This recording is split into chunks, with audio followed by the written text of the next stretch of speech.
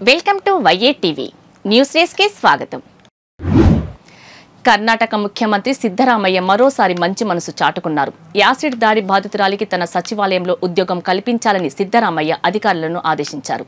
CM నివాసంలో జరిగిన ప్రజావానికి వచ్చిన బాధితురాలు తన కష్టాల గురించి సిద్ధరామయ్యకు చెప్పింది. ఆ విషయాలను విన్న సీఎం సిద్ధరామయ్య అక్కడికక్కడే ఉపాధి కల్పిస్తామని హామీ ఇచ్చారని ముఖ్యమంత్రి కార్యాలయం ప్రకటనలో పేర్కొంది. బాధితురాలు గతేడాది ఇరవై ఎనిమిదిన దాడికి గురైందని ఆమె ఎంకామ్ గ్రాడ్యుయేట్ అని తెలిపింది.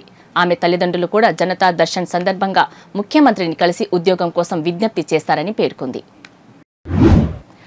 హైదరాబాద్ ఔటర్ రింగ్ రోడ్డుపై నార్సింగ్ వద్ద ఇరవై తొమ్మిది పాయింట్ ఐదు సున్నా కోట్ల రూపాయలతో నిర్మించిన ఇంటర్చేంజ్ను మంత్రి కేటీఆర్ ప్రారంభించారు. అనంతరం మాట్లాడుతూ ప్రజల విజ్ఞప్తి మేరకు ఓఆర్ఆర్పై నూట ఇరవై కిలోమీటర్ల వరకు వాహనాల స్పీడ్ పెంచామని అన్నారు.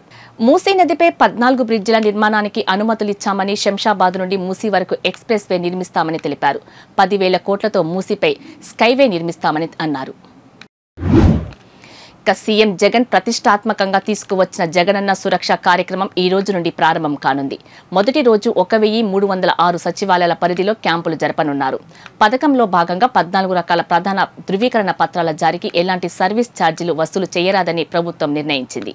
అర్హులైన ఏ పథకం రాని వారిని గుర్తించి లబ్ధి చేకూర్చాలనే లక్ష్యంతోనే ప్రభుత్వం ఈ కార్యక్రమం చేపట్టింది. రాష్ట్రంలో ఖమ్మం జిల్లా రాజకీయాలు మరింత ఆసక్తిని పెంచుతున్నాయి. బీఆర్ఎస్ నుంచి బహిష్కృతమైన మాజీ ఎంపీ పొంగులేటి శ్రీనివాసరెడ్డి కాంగ్రెస్లో చేరబోతున్నారు. ముఖ్యమంత్రి కేసీఆర్ బీఆర్ఎస్ పార్టీపై ఆయన నిప్పులు చెరుగుతున్నారు. కేసీఆర్ను గద్దె దించడమే తన లక్ష్యమని చెబుతున్నారు. ఈ క్రమంలో పొంగిలేటికి వార్నింగ్ ఇస్తూ ఖమ్మంలో పోస్టర్లు వెలిశాయి. పొంగిలేటి అనుచరుల శవాలు కూడా మిగలవంటూ పోస్టర్లో హెచ్చరికలు జారీ చేశారు. బీఆర్ఎస్ పై మంత్రి పువ్వాడ అజయ్ పై అనుచిత వ్యాఖ్యలు చేస్తే తీవ్ర పరిణామాలు ఉంటాయని వార్నింగ్ ఇచ్చారు. గుర్తు తెలియని వ్యక్తులు ఈ పోస్టులను ఏర్పాటు చేశారు. ఈ పోస్టర్లు ఖమ్మంలో కలకలం రేపుతున్నాయి. ఈ పోస్టర్లపై పొంగిలేటి ఇంకా స్పందించాల్సి ఉంది.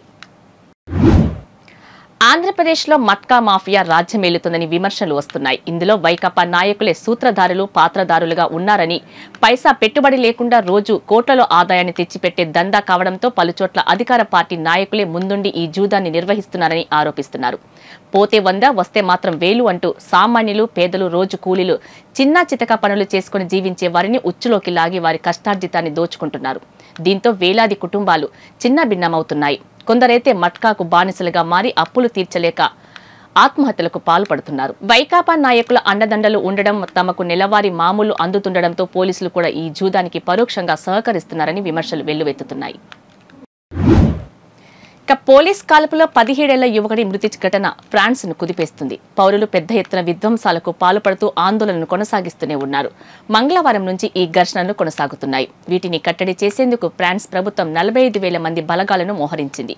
ఈ ఘటన నేపథ్యంలో ఇప్పటికీ విమర్శలు ఎదుర్కొంటున్న ఫ్రాన్స్ అధ్యక్షుడు ఇమ్మాన్యుయల్ మేక్రాన్ మరో వివాదంలో చిక్కుకున్నారు. ఆందోళన సమయంలో ఆయన మ్యూజిక్ కచేరీలో పాల్గొనడమే అందుకు కారణం. ఆ కార్యక్రమానికి సంబంధించిన దృశ్యాలు వైరల్ కావడంతో తీవ్ర విమర్శలు వెల్లువెత్తుతున్నాయి. ఇక భారత్లో పది వేదికల్లో వన్డే ప్రపంచ కప్ రెండు వేల ఇరవై మూడు టోర్నీ నిర్వహించనున్నారు. ఈ మేరకు ఇటీవల ఐసీసీ షెడ్యూల్ను కూడా ప్రకటించింది. అయితే తమ రాష్ట్రంలో మ్యాచ్లను నిర్వహించకపోవడంపై పంజాబ్ క్రీడల మంత్రి గుర్మీత్ సింగ్ హయర్ మరోసారి అసంతృప్తి వ్యక్తం చేశారు. ఇప్పటికే తమ అభిప్రాయాలను వీడియో రూపంలో వ్యక్తం చేసిన మంత్రి తాజాగా బీసీసీఏ అధ్యక్షుడు రోజర్ బిన్నీకి లేఖ రాశారు.